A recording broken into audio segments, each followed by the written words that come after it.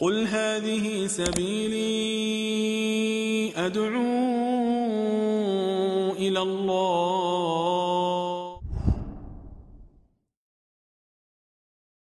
Salihin from Canada.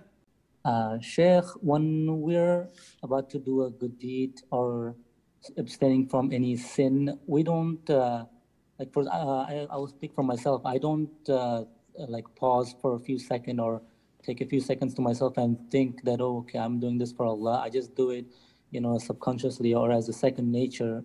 So, um, but if you ask me, like, who did you do this for?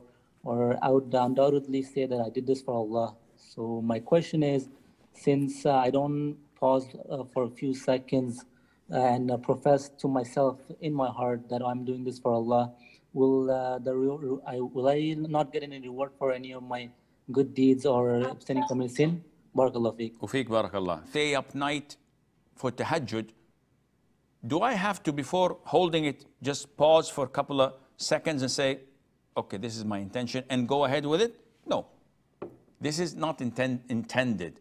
As long as you're doing it for the sake of Allah, you don't have to have this on your mind. Why are you feeding a poor person or giving him charity? Because he's begging and he looks sincere. So I took my uh, uh, charity and put it in his hand. Do I have to say, oops, wait, wait, hold on.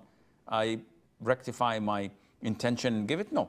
As long as you're doing it for the sake of Allah, you don't have to verbalize it and have it in your mind. Just do the things that you do out of goodness and for the sake of Allah and so and move on.